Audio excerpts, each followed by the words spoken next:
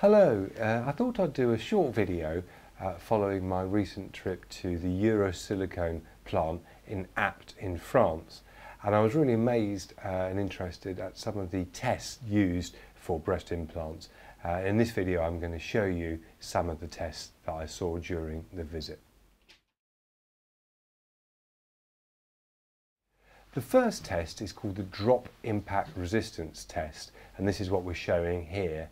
In this test, depending a little bit on the size of the uh, implant, they drop a 4.3 kilogram weight um, onto the uh, implant and you can see that the implant's very strong and doesn't break.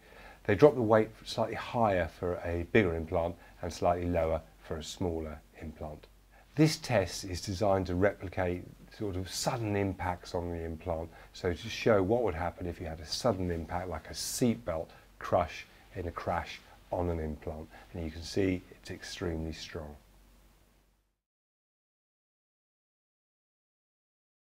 The next test is the tensile strength test and what they do in this test is get two sections of the implant, one from the shell and one from the junction of the back plate on the uh, shell and stretch it slowly and the number they're looking for is a 450 percent increase in the length of the implant. So it will stretch from a small amount to 450 times bigger. Now in fact 450 times is the minimum uh, allowed uh, but in all the experiments we saw at the Eurosilicone uh, factory the implant was much stronger and sustained a much greater stretch.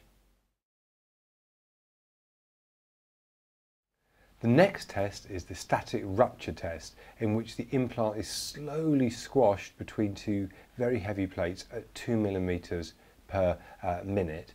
And the magic figure we're looking for here is half a ton of weight. So we can see that the implant's really really squashed with half a ton of weight and again it hasn't failed.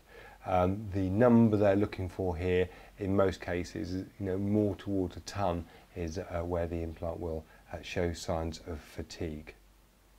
So all in all, I was really impressed. What they do is they take implants off the line randomly and test them, really to look for any uh, problems uh, with the implants to check that they're extremely strong and extremely well made.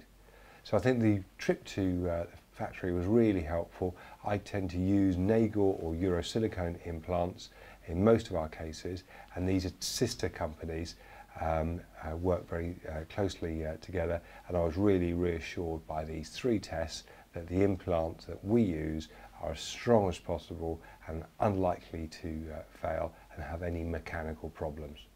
So I hope you found this uh, video useful and informative. I certainly enjoyed my trip to France. If you have any questions about implants, how they test them, please contact us at aurora-clinics.co.uk. Thank you.